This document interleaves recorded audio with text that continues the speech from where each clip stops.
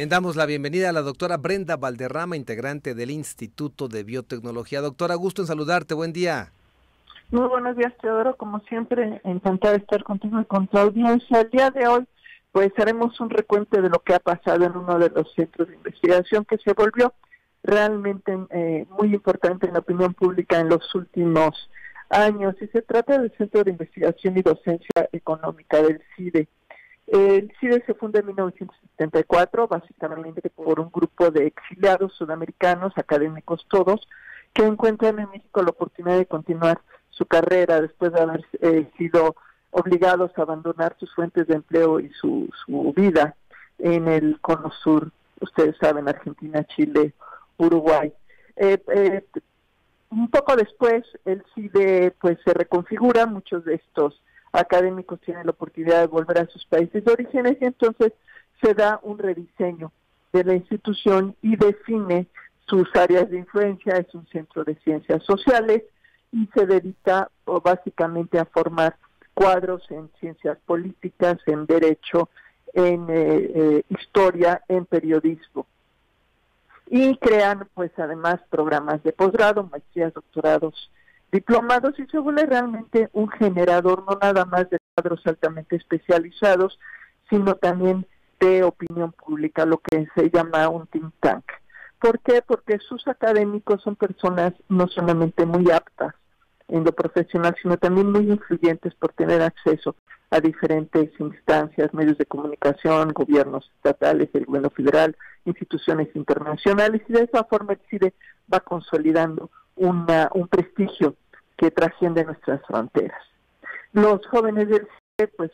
son formados en un ambiente de muy alta calidad, con acceso a información, con eh, un sentido crítico muy agustado y deciden de manera eh, espontánea eh, sumarse a la campaña del entonces candidato a la presidencia de Manuel López Obrador.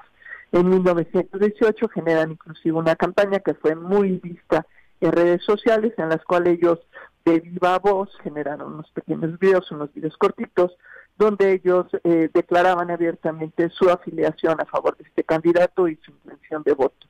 Este, pues entendiendo la influencia que tiene Chile, pues no pasó desapercibido y la que entonces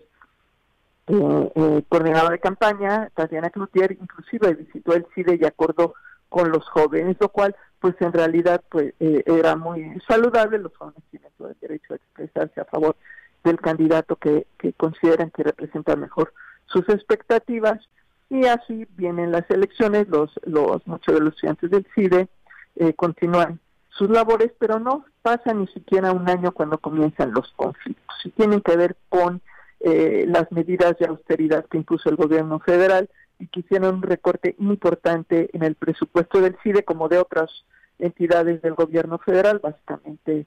eh, todas, eh, donde eh, el, CIDE pierde la capacidad de generar con recursos propios una serie de, beneficios que daba sobre todo a estudiantes foranos.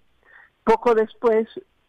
un, un, año después, pues vienen más recortes y al final viene la desaparición de los fideicomisos. En los fideicomisos del CIDE se incorporaban no nada más recursos públicos, sino también todos los recursos que gestionaban los investigadores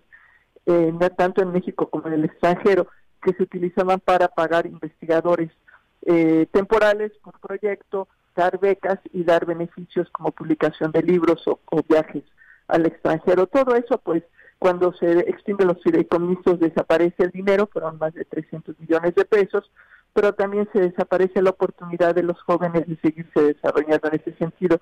Y entonces, eh, eh, con el mismo espíritu crítico que mostraron en el 18, ellos empiezan a cuestionar la forma como se están haciendo las cosas y de manera muy importante cómo se toman las decisiones. La crisis ocurre en el 21 cuando su director, Sergio López Ayón, decide renunciar ante la incapacidad de establecer un diálogo constructivo con la dirección del CONACYT y en el proceso aparecen una serie de nombres, ninguno de ellos eh, académico del CIDE, todos externos, y la comunidad se decanta por uno de los candidatos que había sido delegado en Azcapotzalco. Sin embargo, eh, eh, la opinión y la designación al final es por otro candidato que no era el de la comunidad. En ese sentido, la comunidad despide a, a, pues a los directivos, a quienes tomaron la decisión, que documenten cómo se hizo y se niegan a entregar la documentación, se niegan a entregar las actas de la sesión y empieza el conflicto realmente serio porque se cuestiona de una manera muy tajante la legitimidad del actual director, el doctor Romero Tellache. Los conflictos siguen, eh, ante la incapacidad de establecer comunicación con el nuevo director, se, dirigen al CONACYT, no hay comunicación, se dirigen a la Cámara de Diputados y al Senado, a la Comisión Permanente, reciben la atención del presidente del Senado y eh, ellos eh, eh, pensaron que a finales de 2021 podía haber alguna mejoría, no la hay, y entonces deciden de manera radical tomar las instalaciones, lo cual hicieron durante unas semanas, durante el, periodo de, diciembre-enero, hasta que regresan las instalaciones el 15 de enero. A partir de entonces, la situación se ha vuelto más crítica todavía y ya un número importante de docentes, de profesores, investigadores han optado por renunciar al CIDE, dado que no solamente han sido destituidos de los puestos académicos administrativos que ostentaban, sino que han sido sustituidos por personas que no tienen eh, las credenciales ni en las eh, especialidades que se requiere para las plazas que se les están otorgando. En todo esto, pues, eh, tiene la marcha que fue el, el sábado pasado, una vez más llegaron a las puertas de Palacio Nacional, no fueron recibidos por nadie, no se les recibió el pliego petitorio, absolutamente nada. Siguen siendo eh, víctimas de ostracismo de parte del gobierno federal que trata de encapsularlos y de desacreditar su movimiento. Muchos de estos jóvenes eventualmente saldrán de ahí, por supuesto se gradarán, pero se llevarán como consigna la historia que vivieron y el entendimiento de cómo en muy poco tiempo se puede destruir una institución que llevó muchos años construir, que además era una institución de excelencia académica y que quiere ser sustituido como una escuela más. Y la demostración está en la, en la eh, cancelación ya de programas académicos para reducir no solamente el alcance académico de la institución, sino la influencia que tienen sus egresados en diferentes ámbitos del gobierno y de las áreas públicas, incluyendo medios de comunicación. Pues eh, esto que quede como constancia de lo que ha sucedido, los jóvenes del CIDE tienen diferentes formas de seguirse expresando y estamos seguros de que todo lo que aprendieron servirá para cuando les toque a ellos tomar decisiones. Así es el ciclo de la vida y así lo tenemos que entender. Pues esa era mi colaboración, Teodoro. Muchas gracias.